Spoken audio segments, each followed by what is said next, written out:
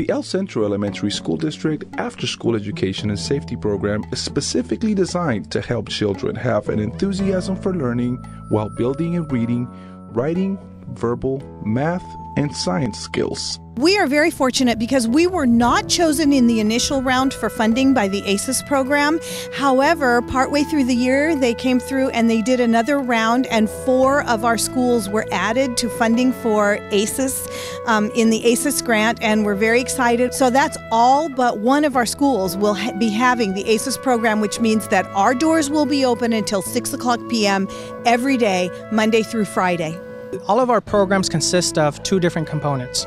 Uh, one is the academic, and the other is in the is the enrichment. Uh, in terms of the academic component, we offer uh, homework center to our students. We offer uh, individualized uh, intervention for our students. Our students have multiple opportunities to uh, catch up, if you will, in their in their coursework and. Um, and also in the content standards. In the area of enrichment, uh, every school is unique uh, in this area, and this is uh, where uh, the program varies from site to site. Uh, some sites offer visual and performing arts, others offer martial arts, and that varies also from site to site uh, since there are different disciplines in the martial arts area. The kids get to learn how to cooperate with each other, how to be good teammates, how to learn how to be leaders at school uh, as being part of a, uh, a team, they develop that, the coaches develop those kind of skills. Their grades go up, uh, their attitude on campus improves.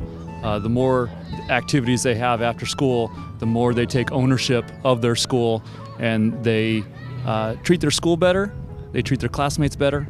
Overall, their, their attitude improves. It's a great program. So ASES, it's an after-school program. It goes till about six o'clock, and ballet is just one of the few of very many activities that we offer here.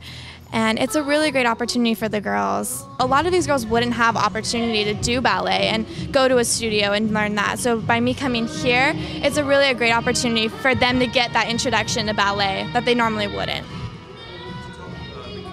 For more information, please contact us at 760 352 5712, extension 515, or log on at ecesd.org.